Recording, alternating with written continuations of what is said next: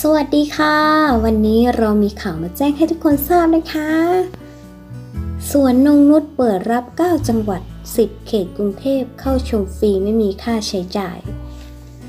สวนนงนุชพัทยาส่งเสริมโครงการเที่ยวไทย เปิดบ้านให้ 9 จังหวัด 10 เขตกรุงเทพมหานคร เที่ยวชมสวนฟรี ตลอดเดือนตุลาคมนี้ค่ะ นายกำพล ตันสัจจา ประธานสวนนงนุชพัทยา พร้อมด้วยนายอนุชา นายอำเภอสัตหีบ และนางปิ่นนาถเจริญผลพออการท่องเที่ยวแห่งประเทศไทย สำนักงานพัทยา ร่วมแถลงข่าวให้ 9 จังหวัด ประกอบด้วย จังหวัดขอนแก่น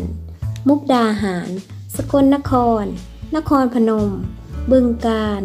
หนองคาย อุดรธานี น้องบัวลำพู และกรุงเทพอีกสิบเขตคือ เขตมีนบุรี คันนายาวคลองสามวา หนองจอก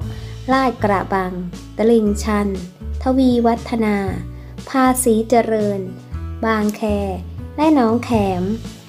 โดยมีตัวแทนจาก 9 จังหวัด และผู้แทน 10 เขต กรุงเทพมหานคร เข้าร่วมอย่างพร้อมเพรียง และยังเปิดตัวไดโนเสาร์สายพันธุ์กินเนื้อตัวใหม่ล่าสุดอีก 6 ตัว โดยใช้เวลาปั้นเพียง 86 วันค่ะ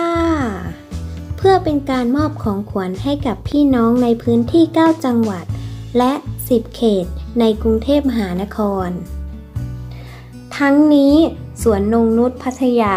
หนึ่งใน 10 สวนสวยที่สุดในโลก ปัจจุบันได้สร้างแหล่งท่องเที่ยวแปลกใหม่หนึ่งเดียวที่สุดในโลก ทั้งสวนลอยฟ้า ไดโนเสาร์ไทย 12 ชนิด ภาพวาดจากหิน การนั่งรถชมเนิร์สเชอรี่ตะบองเพชร สับปะรดสี สวนชวนชม สวนกระถาง โกศล หมากผู้หมากเมีย และสวนปาล์มเป็นต้นค่ะ หนิงก็ขอขอบคุณทุกคนนะคะที่รับชม